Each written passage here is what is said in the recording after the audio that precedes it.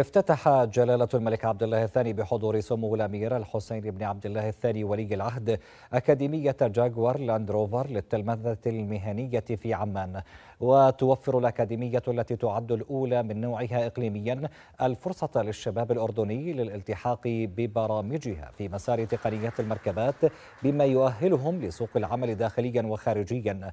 وأكد جلالة الملك خلال الافتتاح أهمية توجه الشباب الأردني نحو التدريب المهني في ظل الطلب المتزايد عليه معربا عن فخره بالشباب المتدربين بالأكاديمية لاهتمامهم بتطوير مهاراتهم في مجال تكنولوجيا السيارات.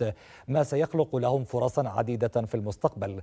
ولفت جلالته إلى أهمية الأكاديمية بحيث تكون نموذجا للشركات الأخرى لإقامة مشاريع تخدم الشباب وتوفر فرص العمل مشيرا إلى دور الإعلام في تسليط الضوء على الفرص التي يوفرها التدريب المهني المتقدم للشباب.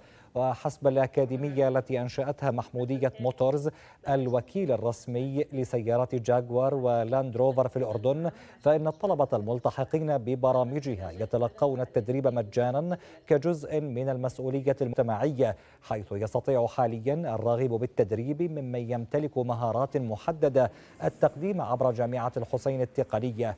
وتفقد جلالة الملك. قاعات التدريس والتدريب في الأكاديمية واستمع جلالته إلى شرح من نائب رئيس مجلس إدارة مجموعة المحمودية باسم ملحس حول مراحل التدريب العملي والنظري الممتد على مدى 18 شهرا داخل مشاغل صيانة السيارات والغرف الصفية في الأكاديمية مشيرا إلى اتفاقية التعاون بين الشركة وجامعة الحسين التقنية بالإضافة للاتفاقية مع وزارة العمل وبرنامج خدمة وطن.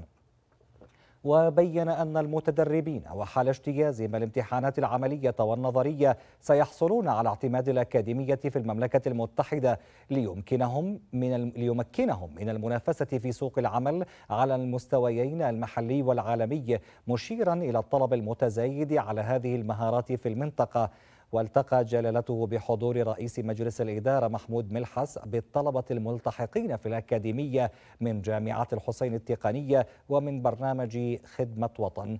وتحدثت المتدربة أماندا الشاعر أول طالبة تلتحق بالأكاديمية عن تجربتها في التدريب مقدمة عرضا لجزء من المهارات التدريبية التي اكتسبتها.